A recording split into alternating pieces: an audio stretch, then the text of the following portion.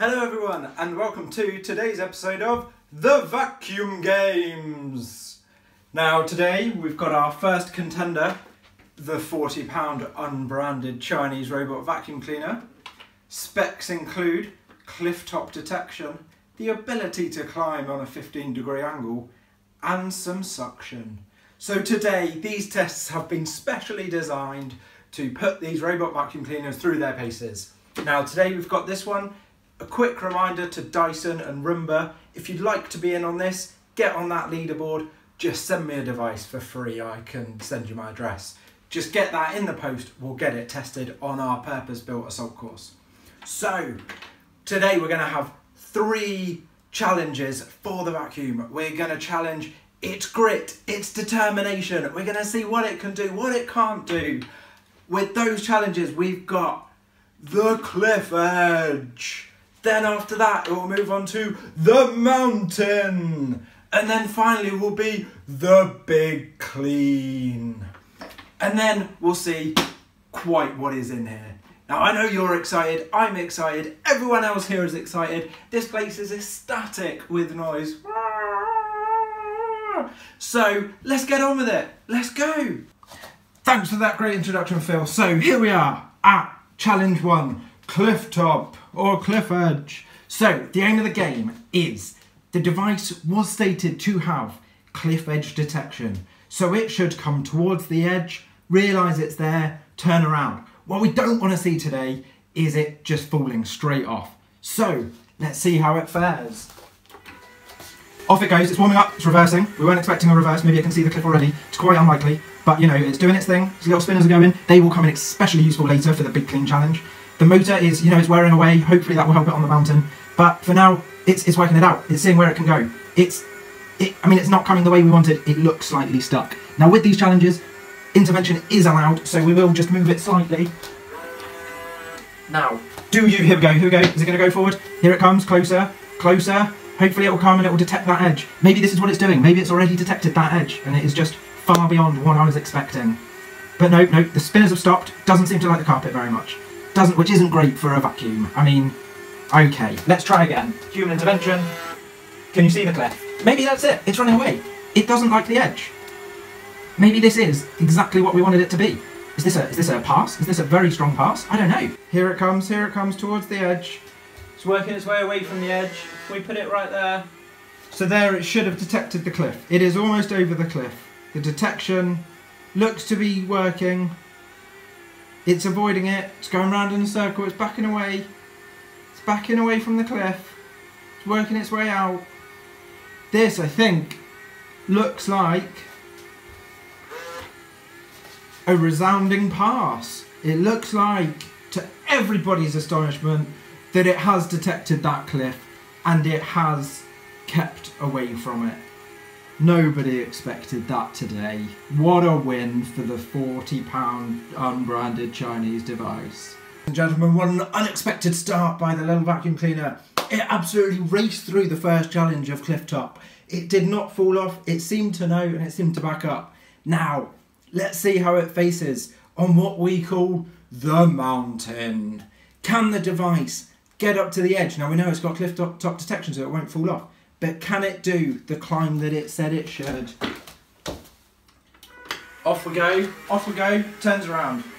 Turns around, it's stuck. Okay, let's try this again. We want you to come up this way. It's backing away, it doesn't seem to like the cliff. This is not what we were expecting. We were expecting it to be fully embracing the cliff. Here we go, here we go, no, no, every, every way. Every time it just runs away. Oh, it's climbing. It's climbing. It's climbing. It runs away and it fell off the cliff. Maybe that cliff edge detection isn't as good as we thought, ladies and gentlemen. Here we go, let's try. It runs away. It does not like the cliff. Every time, a strong running away. Not what we were hoping for here. Not at all. You cannot go around the mountain, that is not how the game works. A resounding fail for the vacuum cleaner as it runs off with its uh, wipers between its legs.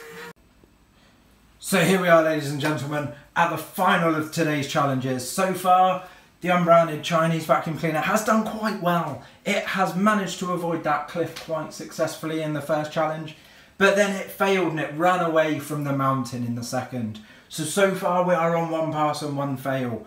But this, this is the big one. This is the finale to end all finales. The big clean.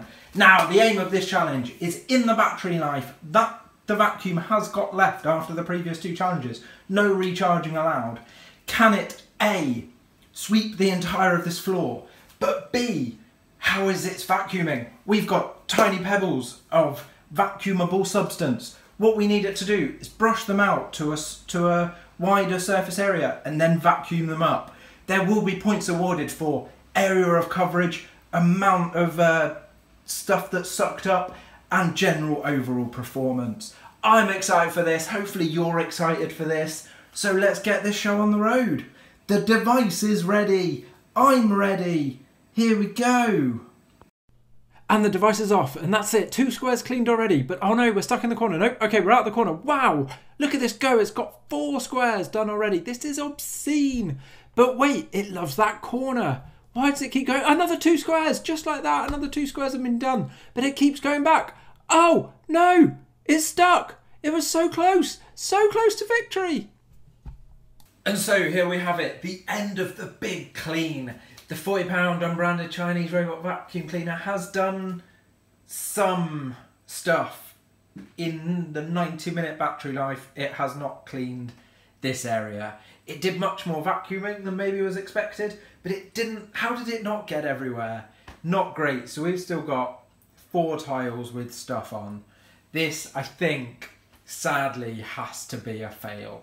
So now the robot vacuum cleaner has been through the paces, it's been put through the cliff top, the mountain, and now the big clean. So now we throw it over to our technical expert to take it apart and we'll see what's under the lid. Thank you very much for sending it over to me. Um, so here it is, the £40 unbranded Chinese robot vacuum cleaner. Let's have a quick look at the scoreboard and see how it did. So we can see it passed cliff top, it had that cliff edge detection. Was it luck? Was it not? We don't know. But then it horribly failed on the mountain. What a disastrous display as it ran away. But then we had the big clean, the ultimate challenge for a vacuum cleaner. And again, it just was adequate to poor. So that is two fails, one pass. But that does mean it's top of the leaderboard, number one for the moment. A quick reminder to Dyson, Samsung, whoever make Roomba, just send me a device. I'll put it through its paces. We'll get it on the leaderboard. Just just send me a DM on Twitter and I'll give you my address. Just a free one. That'd be great. Why not? Anyway, so now that we've got a winner, a leaderboard, not great, but you know, let's see how it did. So first up, it's got this dust compartment. Now this dust compartment, it cleaned up quite a lot of the crap on the kitchen floor. So, oh, we still can't see anything in, in here. We, it says pull out the dust board and I do not know. Oh no, oh no, I moved it slightly and it all, oh god. Very gentle shaking. Very gentle shaking and all the good work has been undone. Now that is less than ideal. I don't even know how I would get in there to clean it, but no, it's all just coming out. Oh, it looks like, all right, I can click it, I can crack it. Aha! Here we go. Here is the dust part, which is very dusty. That has done some dusting over the time, but most of it is now in the device and on my desk. Not great. So Luckily, I came prepared because I thought something like this might happen. Let's, um... Oh, my days. Oh, my days.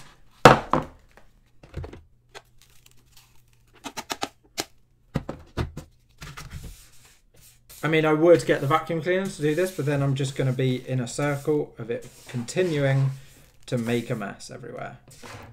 So, you know, this, this, yeah, this little dust box has sort of done its thing. There's some there's some dust. It seems it's done all right. Okay. So now it's the time that everybody has been waiting for. Now that we know how it fares on our three different tests, we can do the exciting bit. How does it work? How does that cliff top detection work? It's the question that everybody wants to know. Okay, so what we've got, we've got all the screws out. We can see that there is a 2000 milliamp 3.7 volt battery in an easy to access compartment which goes through to the base. We've also taken the screws out that are around the device. So let's lift this off and see what we've got. Oh no, that's just the screws, that's okay. So, what have we got here? We've got a tiny, tiny board here with some with with a few little bits on it. We've then got rubber bands here. So these run this motor, then this motor runs these cogs, which turn these bits, which are the um, the wipers, which makes sense. Then we've got a second motor here, and that motor that motor runs the sucker, which appears to just sort of suck upwards up here and then down through the box. So the sucking action is happening, it's coming from here down through there to try and get stuff up. So it seems a really inefficient way of doing things. There's nothing on the bottom where it's, so it's not sucking directly, it's sort of a like a, a really bizarre way of getting the suck action. But never mind. Under this as well, where this motor is, is also the front wheel. So the front wheel which spins, um, I guess that that must be motored, and then these are just free wheels. So yeah, so for forty pounds we have got well, we've we've got not a lot to be perfectly honest. We've got a tiny, tiny suction out aspect. We've then got so we've got two motors. Um, what there isn't is anything that would uh, do any sort of cliff detection, from what I can tell here. So I think that might just have been a fluke with the fact that it ran away from the cliff. So we're going to put that pass to a dubious. So now the final scoreboard for this, a £40 unbranded Chinese device, is a dubious pass and two very strong fails. Now, it is still number one on our leaderboard. Dyson, Samsung, iRobot, get in touch. Let's change that. But would I buy this? Would I recommend this? It's £40. We kind of knew it wasn't going to be great, but I would not. Just don't buy it.